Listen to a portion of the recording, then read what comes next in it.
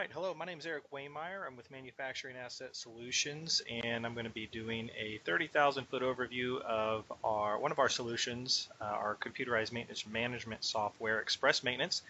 And if you want to find out more about Express Maintenance, uh, feel free to go to www or https forward slash forward slash mass.systems forward slash em dash home, or you can call us at 831 275 692. You can email us at support at mass.systems or sales at mass.systems, or you can go to this website and uh, request information uh, or and request a demo. Uh, so let's take a look at Express Maintenance. Again, this is going to be a 30,000 foot overview, so we're not going to go into the setup and all the ways that the, the, the, software is interconnected with other pieces of the software. Where we're going to start is uh, I'm going to take you to the administration tab and this is where we're going to skip most of what we what we could discuss as far as the configuration and setting up your PM program and how to enter employees and the security uh, levels that are involved within setting up employees, how to map out your facilities, whether you have one building that's uh, or you have multiple buildings that are close or across the country or across the world, you can set up all of your sites and locations in the same database and uh, then separate them. Um, so that's as far as in the detail as I want to get there. One of the main reasons that people purchase or are looking for computerized maintenance management software is really what they're trying to do is start to organize the chaos. Uh, whether it's uh, planned maintenance or demand maintenance, uh, whether it's those demand work orders or your PM program, or if you're uh, sophisticated in using predictive services, they need a way to be able to enter all of that data into a software and that software then tell them what their schedule should look like and that's what Express Maintenance does. Uh, it also does inventory control. Uh, it has a purchasing module, a receiving module, uh, in order to maintain that parts inventory. And so the, the three major pieces to a CMMS are your equipment, your parts, and your PMs. And then there's also the request module uh, so that you can submit work requests or production or office staff can submit work requests. So the first thing we're going to take a look at is your equipment. Notice you have your, uh, this is your equipment list and I can zoom into any one of these pieces of equipment to see that equipment detail. We have the, uh, the equipment detail header screen right here with a photo of the equipment. We also have 21 unique user defined fields so that in case any information isn't up here that you want to be able to gather, you can collect it down here in the user defined fields, lease and warranty information, device information, which includes things like um, your connector information, amps, voltage, phases, those kind of things, calibrations, uh, attachments, uh, whether it's uh, another piece of equipment or it's a actual document. You can attach documents here, CAD drawings, those kinds of things. If it's a vehicle, uh, you can identify specific vehicle information in here and connect that to third-party information. Uh, if you have an OBD2 device in your vehicle, then it can relay mileage and fault codes into express maintenance. Uh, we have a note section, sources, and then services. And this is where you're building your PM program is really you're attaching the PMs to the equipment, uh, giving it a schedule date, and that's what uh, kicks off the algorithm that's going to start producing those work orders for you. Uh, you also can build your list of materials here. So we have our parts for this piece of equipment, this uh, equipment's downtime history, and uh, any counts, any history of counts that have been counted on this piece of equipment. so that's just taking a look at the equipment. And so once you have all of your equipment in the system, then you can enter all of your parts into the system. And here's your parts list. Again, click on any one of those parts to see the detail. And uh, just like on the equipment screen, we have a header section where you have your parts information and you can attach a picture of the part as well. Current cost. Uh, we also have 21 unique user-defined fields here as well. You can attach attachments. You can also identify your sources. So if you have a primary vendor that is a source for this part, you can also attach more than one vendor and that include their price so that if uh, one vendor doesn't have it and you need it, you can always go to that other, that other vendor. Uh, see what equipment this part is used on. Uh, you can see your receiving history and your usage history. And that's the parts section. Now, after you have your units and the services assigned, you also have your parts assigned. And then you mesh all that together into the, the PM program and the demand work order program. So in Express Maintenance, all of your work orders end up on the same screen. So we have um, our work order tab, and then we have requests, service overview, our work order overview, and then our work order data or our work order detail. So follow the thought pattern here. Request, this is a demand request. So the, these requests are coming from outside of the Express Maintenance system. Uh, we have another sister software that uh, you purchase along with Express Maintenance, and what that does is it allows office staff and or production staff to be able to submit a request without having to enter the Express Maintenance software itself. And if we click on the request, we can see an incoming request here. From here, all I got to do is select it, assign a work order, and then I get to schedule that uh, using our scheduler. And the scheduler provides me the ability to pick a specific schedule date and time, what category we want to assign that particular uh, work order. Is it planned or demand? What group? And that just further breaks down your planned and demand codes. What classification?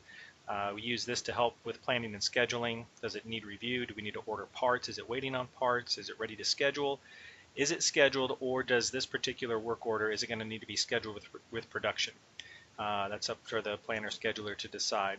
Uh, its priority, the requester, and then uh, what work group we want to assign to this and what technician. That gets converted to a work order and then it will show up on your work order overview. Now before I go there, I want to go over here to the services overview. And all the service overview does is show you based on the equipment that you added, the PMs that you assign to the equipment, which PMs are due, which PMs are overdue, and which ones need to be scheduled into work orders. And uh, here in our next release, actually, we have added a way to automate the services and converting those automatically into work orders so they just show up on the work order overview and uh, pre-assigned to employees if you want to. Uh, so uh, this is what this list here just shows us what services have come due. Again, I can pick these and then convert those to a work order, uh, and I get the same scheduler that pops up. So then once that service has been converted to a work order, I'll find it on my work order overview. Here I can see my open, my completed, my created, or both, or all of them. Uh, I am looking at all of my work orders based on my uh, my date criteria, the, the search that I have here.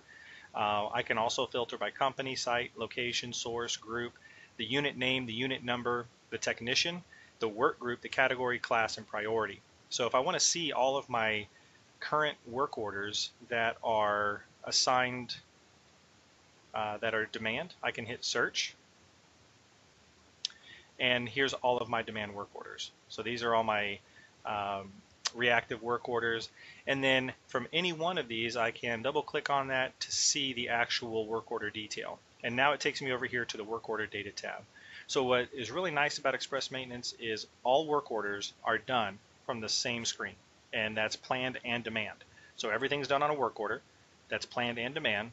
And then that way all of your service history is um, easily entered onto one screen and it's, it's easier to get that, uh, that good quality data that is timely, actionable, and intelligent. That way you're able to make some biz better business decisions. So here on the work order, uh, we have the work order number, we have the unit, the unit number, its site and location, the company, the, the date that it was scheduled for, okay, when it, when it gets started, when it was completed.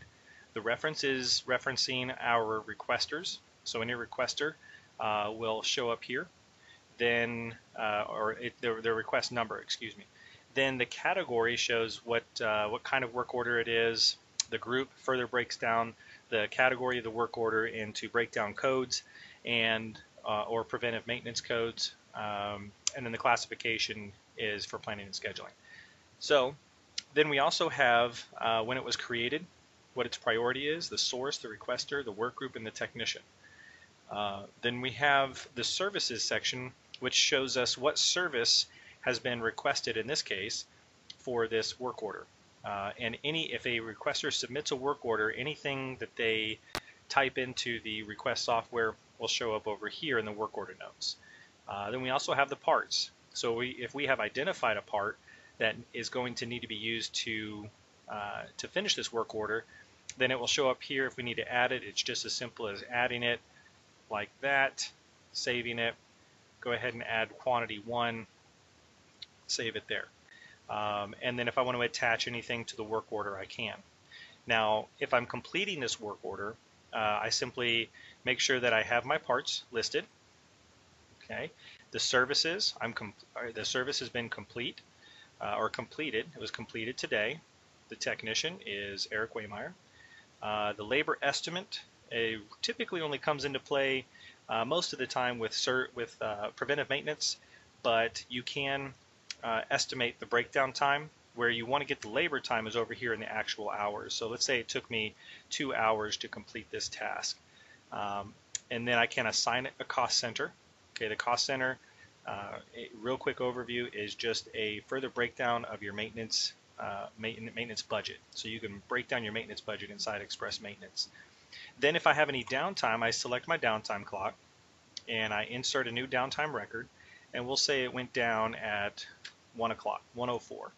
And then I go over here and I enter my uptime and then I let it calculate. It gives me 1.0017 hours for downtime. Close that. I've got my downtime logged. It asks me when I started it. I'm going to say I started it on the, or today, when did I finish it? I finished it today and then I close the work order. So typically if you're looking at closing work orders, it takes about 30 to 45 seconds once you get good and you're not having to explain it. Um, so the work orders are really easy to complete, very, very simple. And then uh, you can see over here that it's calculated my labor cost, my parts cost, and uh, for a total cost to maintain of uh, $115.61. Now that's as far as I'm going to go. That we have some other things like reports. Uh, we can do. I can demonstrate parts receiving. If you're interested in seeing more than what you've seen here so far, uh, let me know or let us know. Call that number. Email us at support at mass.systems or sales at mass.systems, and someone will reach out to you to schedule that demo. Uh, but we appreciate your interest and look forward to serving you. Thank you.